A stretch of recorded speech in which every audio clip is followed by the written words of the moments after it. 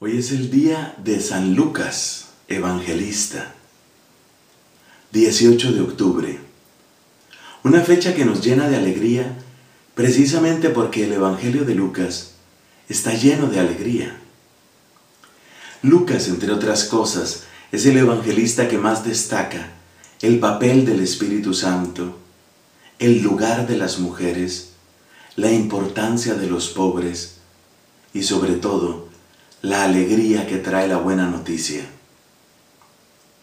Así que este es un día para dar gracias a Dios. Lucas no era de origen judío, se trata de un pagano convertido al cristianismo, compañero en buena parte del quehacer misionero del apóstol Pablo. Así como Pablo fue a tierra de paganos y allí predicó el Evangelio, Así también Lucas tomó ese mensaje y realmente lo extendió a todas las naciones. A Lucas se atribuyen dos grandes escritos del Nuevo Testamento. Uno es el Evangelio que lleva su nombre, que es el tercero en la secuencia usual de los libros. Viene Mateo, Marcos, en tercer lugar Lucas y luego Juan. Esa es una obra el Evangelio, la otra obra de Lucas es llamada Los Hechos de los Apóstoles. Pero estas dos obras tienen más en común que simplemente compartir el mismo autor. Así como Lucas resalta tanto la acción del Espíritu Santo en su Evangelio, así también en los Hechos de los Apóstoles muestra cómo el Espíritu es el gran protagonista de la evangelización. Así que algo que se puede hacer para mostrar la riqueza de los escritos de Lucas es cambiar los títulos de sus obras.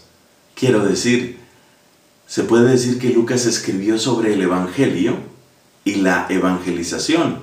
La parte de la evangelización es la parte de los hechos. O se puede también conservar esa palabra hechos y decir que para Lucas están los hechos de Jesucristo, y los hechos de los discípulos de Cristo.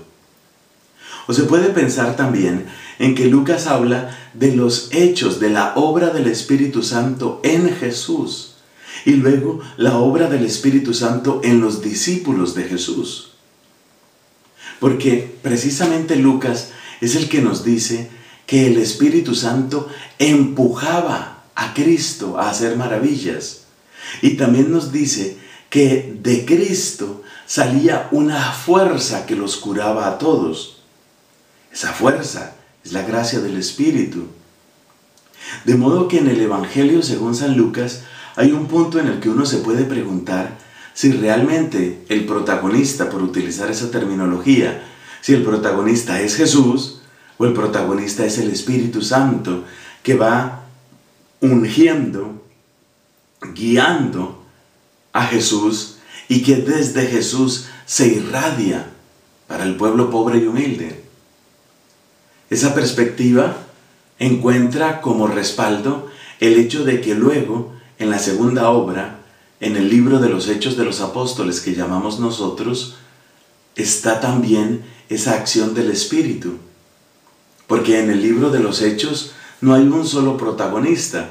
Al principio aparece Jesús con el grupo de apóstoles, luego viene lo que podríamos llamar el ciclo de Pedro, y luego viene el ciclo de Pablo, y entonces uno se pregunta cuál es el hilo conductor dentro de esa obra, cuál es el protagonista.